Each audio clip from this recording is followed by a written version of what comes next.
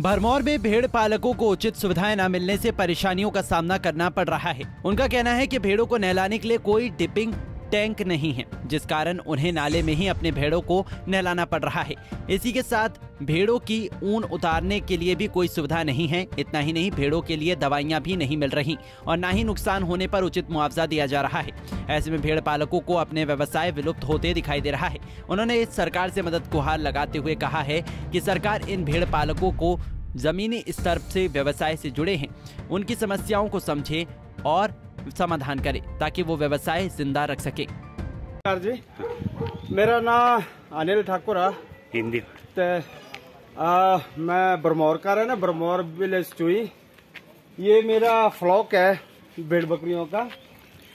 तो हमारा जो कल्चर चलता है इन भेड़ बकरियों से ही चलता है। गद्दी जो शब्द है इन्हीं भेड़ बकरियों से चलता है कि गद्दी क्या है। तो आज का दौर ऐसा है ये खत्म होने की कगार पे है। ना कोई फैसिलिटी है। हमारे यहाँ भरवानी माता में एक डिपिंग सेंटर होता था, जहाँ पे हम लोग इसकी शेयरिंग करते थे। मतलब कि भेड़ों की ऊन कटवाते थे, वहाँ पे नहलाते थे। वो कई मतलब कि कई समय से वो बंद हो चुका है। तो दिक्कत है अभी बिना शेयरिंग करवाए और बिना नहलाए, ना कोई दवाई का इंतज़ाम है, ना कुछ कुछ है। मतलब कि बोलने के लिए तो बड़े बड़े वादे करती हैं कि गद्दियों के लिए हम ये करेंगे, भेड़ पालकों के लिए वो करेंगे, पर इस इस दौर में ज़ीरो है। ना कोई दवाई है, ना कोई कुछ है, ना कोई। आप देख सकते हैं कि अभी हम लोग फुक्ति की तरफ़ रवाना हो रहे हैं। ना बिना शेयरिंग करवाए, बिना नहलाए, ना कोई दवाई का इंतज़ाम, ना कुछ है, ना कुछ है। तो हम तो अब इतनी हमारी उम्र होगी है कि चलो, थोड़ा सा हम धक्का दे रहे हैं, पर आने वाली पीढ़ी जो है, ये खत्म हो जाएगा, ये काम ही खत्म हो जाएगा, क्योंकि इसका कुछ है नहीं। करने वाला नहीं, इसकी कोई संभाल लेने वाला नहीं है।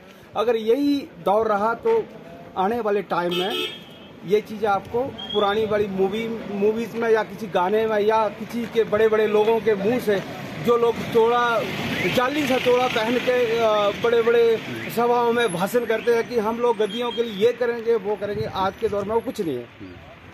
मैं ज़मीन से जुड़ा हुआ आदमी हूँ, मैं इस काम को करता हूँ और मुझे इस चीज़ का नॉलेज है, मैं दिक्कत जो है, वो हम किसके किसके साथ बयां करें? कुछ भी नहीं है। पहले एक डिपेक सेंटर हुआ करता था, भरवानी माता में। बोलते थे कि इससे पानी जो गंदा होता है, ठीक है, हम इस चीज़ को मानते हैं कि पानी गंदा हो रहा था। पर उसका सही समाधान भी होना चाहिए था। अगर वहाँ से उसको हटाना था तो दूसरी जगह कहीं तो शिफ्ट करना था।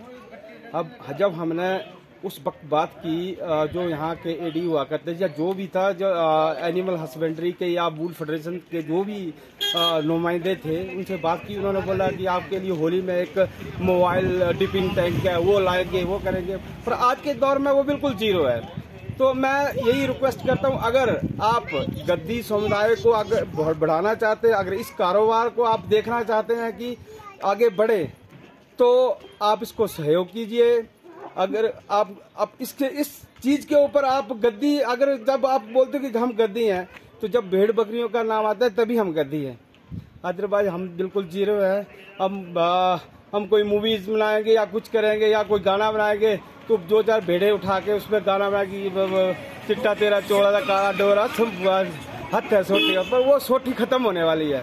तो मैं यही रिक्वेस्ट करूँगा कि इसके बारे में गवर्नमेंट भी सोचे और यहाँ के जो नुमाइंदे हैं वो भी सोचे तभी ये काम आगे बढ़ पाएगा नहीं तो ये आज के दौर में खत्म है। जय हो जय भारत। पंजाब केसरी टीवी के लिए भरमौर से उत्तम ठाकुर की रिपोर्ट। हमसे जुड़े रहने के लिए हमारे YouTube चैनल को सब्सक्राइब करें और नई वीडियो की नोटिफिकेशन के लिए बेल आइकॉन को दबाएँ। अगर आप ये वीडियो Facebook पर देख रहे हैं तो लाइक ज़रूर करें और ज़्यादा से ज़्यादा शेयर करें। इसी तरह के और भी अपडेट्स के लिए फॉलो करें हमारा Instagram page Himachal dot Kesari.